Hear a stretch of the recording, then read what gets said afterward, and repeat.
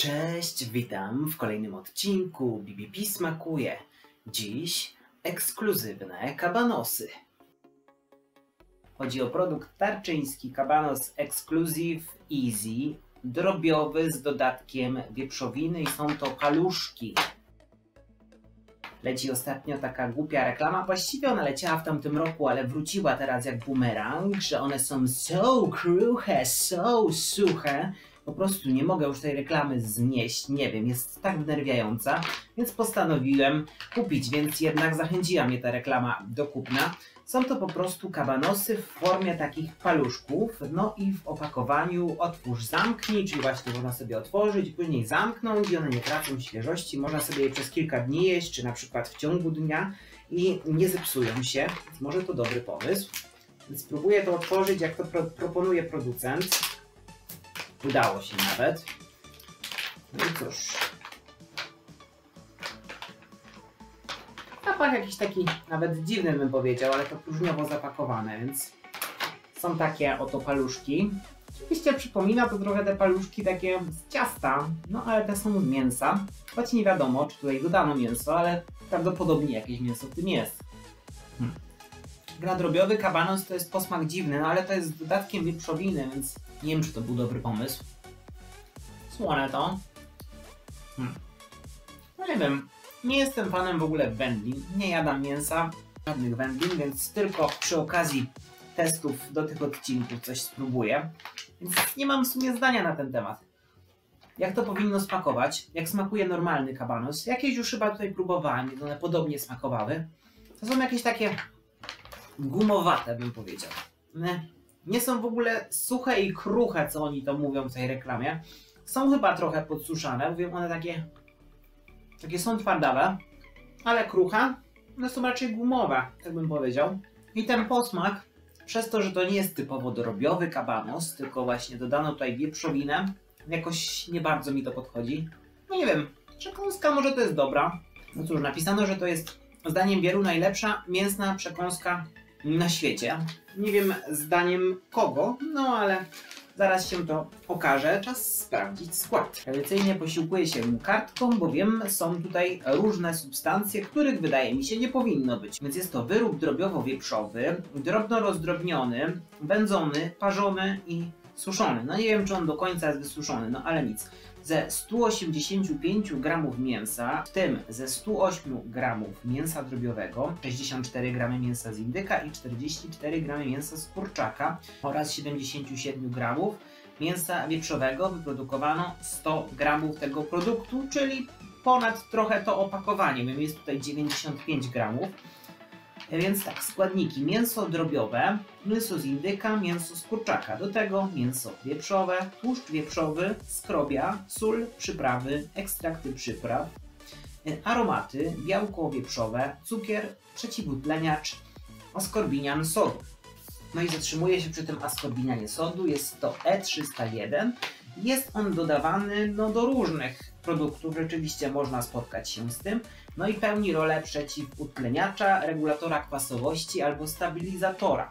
No i przyczynia się do przedłużenia trwałości produktów spożywczych, co w przypadku mięsa może jest to sensowne. No zapobiega właśnie jełczeniu e, i brunatnieniu żywności oraz utrwala naturalną barwę produktu. No i właśnie wykorzystywany jest w celu utworzenia stabilnej barwy mięsa. No, żeby tak ładnie te kabanosy wyglądały, które nie są do końca według mnie uwędzone, tylko właśnie ładnie ubarwione, e, więc e, zachowują właśnie e, stabilną barwę mięsa, no i przyspieszają proces peklowania mięsa, więc, więc ten jeden składnik ma aż tyle funkcji. E, no więc dalej, e, mamy substancję konserwującą azotem sodu. Jest to E250, no i służy przede wszystkim też do peklowania mięsa, no i utrwala jego czerwono-różową barwę, przeciwdziała namnażaniu się bakterii, czyli podobnie jak ten poprzedni, żeby to dłużej pozostało świeże, tym bardziej, że jest to właśnie w takim opakowaniu, gdzie szybko by się e, zepsuły te kabanosy właśnie w takim opakowaniu bez powietrza, więc wydaje mi się, że, że szybko by się to zepsuło, więc dlatego dodano też to. No ale można by było nie dodać, tylko pewnie termin ważności by był dużo e, krótszy. Poza tym jest osłonka jadalna i to jest właśnie najbardziej w tym zastanawiające. To nie jest naturalne jelito, tak jak to często bywa w przypadku kiełbas, czy może kabanosów wykonywanych właśnie w jakichś masarniach takich lokalnych, tylko właśnie jest to osłonka jadalna zrobiona z substancji żelującej. Tu jest właśnie alginian sodu, to jest E401, to jest właśnie środek emulgujący, stabilizujący i zagęszczający. No i właśnie jest oznaczane E401, no i jest wykorzystywany, bo tworzy żele, które są trwałe niezależnie od zmiany temperatury, czyli właśnie i w zimnie, i w cieple te kabanosy zachowają swoją konsystencję. Przez to one pewnie są takie kumowate właśnie. Tak jakbym wiedział, że tutaj dodano jakiś żel, może nie dodano wprost jakiejś żelatyny, no ale dodano właśnie alginian sodu. Poza tym w tej osłonce są stabilizatory, celuloza, celuloza czyli E460, to jest zagęstnik i emulgator stosowany sosach, również w zupkach w proszku, e, jest dodawany do żywności jako suplement np. błonnika. W produktach light jest, stanowi zamiennik tłuszczu i pozwala ograniczyć liczbę kalorii. No nie wiem dokładnie w jakiej funkcji występuje tutaj, ale też podejrzewam, one są takie jakby popatrzeć, one takie są tłuste, ale to nie jest do końca taki tłuszcz właśnie, więc wydaje mi się, że to jest właśnie ta substancja. Poza tym jeszcze w tej osłonce jest chlorek wapnia, czyli E509. E, to jest inaczej nazwa soli chlorkowej i jest zaliczany do stabilizatorów, czyli kolejny stabilizator oraz wzmacniacz tekstury, czyli utwardza oraz wpływa na zwięzłość produktu. No właśnie, wyginałem tym kabanosem w lewo i w prawo, no i właściwie nie pękł, więc to pewnie jest to, no i właśnie często zużywany w przemyśle spożywczym. No i tak jak już było wcześniej powiedziane, e, wyprodukowano to ze 185 gramów mięsa, więc to chyba dobrze, bowiem powinno być więcej właśnie surowego mięsa e, na 100 gramów produktu przetworzonego. To znaczy, że jest tak jakby 100% mięsa w mięsie, więc to może jest plus. No i oczywiście produkt może zawierać soję, mleko, orzechy, seler i gorczycę i jest pakowany w atmosferze ochronnej co do wartości odżywczej na 100 gramów tego produktu, czyli troszkę więcej niż ta paczka, to jest 488 kalorii, tłuszczu 41 gramów, w tym kwasów tłuszczowych nasyconych 16 gramów, węglowodany 4,8, w tym cukier 1,3. Zastanawiam się, po co tu właściwie jest dodany cukier. Do smaku, do mięsa się dodaje cukier, zastanawiam się to białko 25 gramów i sól 3,1. To się zgadza, jest to dość słony produkt w porównaniu do tych wcześniejszych, które próbowałem, ale to były zazwyczaj wyroby cukiernicze, on tam jest sól dodawana do smaku, a tutaj ta sól rzeczywiście jest wyczuwalna. No więc czas na cenę. E, ta paczka 95 gramów e, kosztuje 5,99.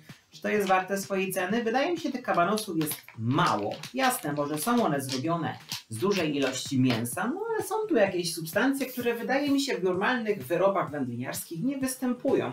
Wydaje mi się, że aż tylu zamienników masaże nie dodają do tego, żeby kabanosy wyglądały jak wyglądają. No ale właśnie, to jest wersja mini, to jest wszystko tak ściśnięte, żeby to właśnie było takie elastyczne, żeby to się właśnie nie rozwalało, nie rozsypywało, żeby to można było zabrać wszędzie, bo właśnie to się przecież zamyka, zapomniałem to zamknąć. Więc pewnie dlatego te substancje są tutaj dodane. Czy one poprawiają smak? Nie wiem, na pewno poprawiają teksturę, bowiem te kabanosy są właśnie takie giętkie, ale przez to wydaje mi się, że są sztuczne. Przez to, że nie dano tutaj naturalnej osłonki, tylko zrobiona osłonka z jakiejś substancji żelującej i tak dalej, to trochę smakuje jakby taka żelka o smaku mięsnym, więc to, to trochę tak smakuje. Na pewno nie są so suche i nie są so kruche, to trochę jest bójda w tej reklamie. E, jasne, reklamują to jako produkt właśnie suchy, kruchy, no ale wydaje mi się do końca nie, chyba żeby zostawić tę paczkę, nie wiem, dzień, dwa uchyloną, to te kabanosy wydaje mi się stwardnieją wtedy będą suche i kruche, a póki co to są raczej gumowate, no i wydaje mi się nie są warte ceny, za którą są sprzedawane. W dzisiejszym odcinku to by było wszystko. Kolejny odcinek w przyszłym tygodniu. Do zobaczenia.